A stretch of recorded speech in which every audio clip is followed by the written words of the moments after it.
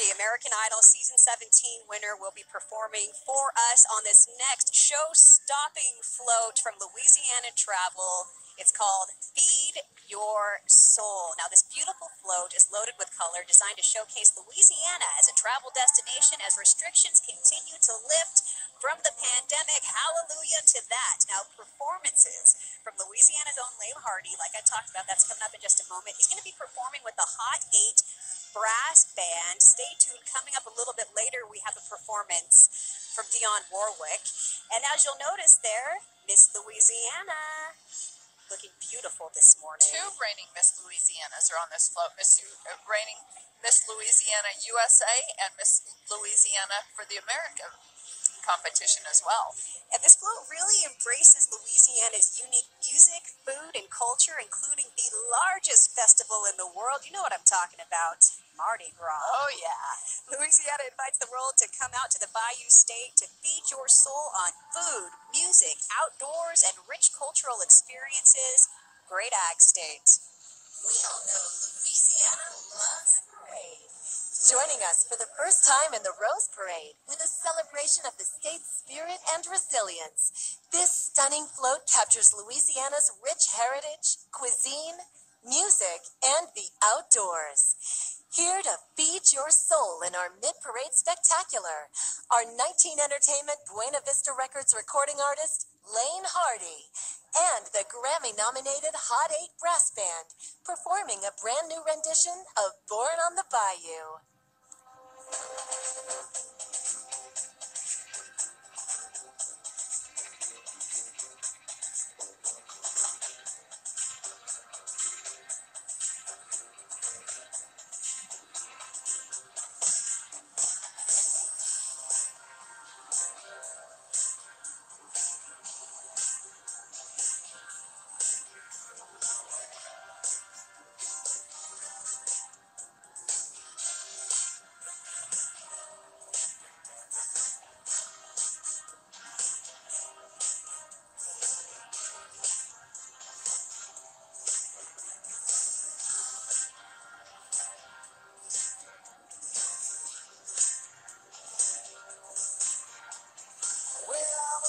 Cause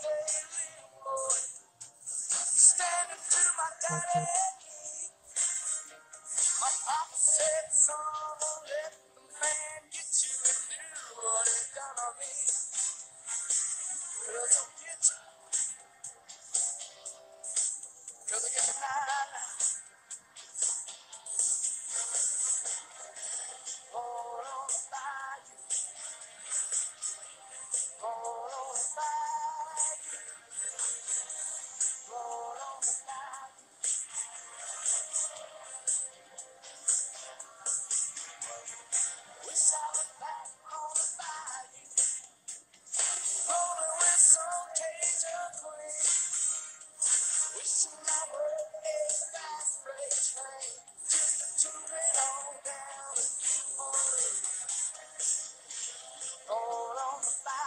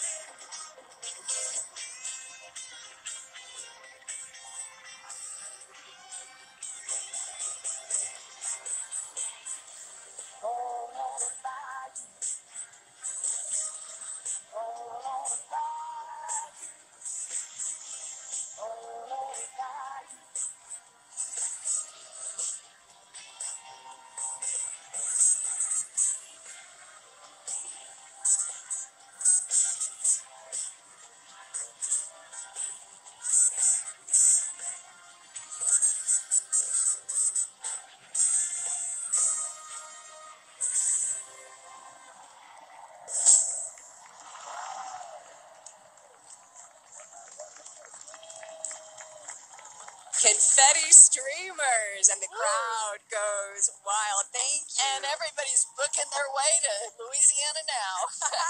that was Laine Hardy, American Idol season 17 winner, with his reimagined take on Creedence Clearwater Revival's Born on the Bayou. Also, riding on this float this morning is Louisiana's Lieutenant Governor Billy Nungesser, along with Miss Louisiana and Miss Louisiana USA.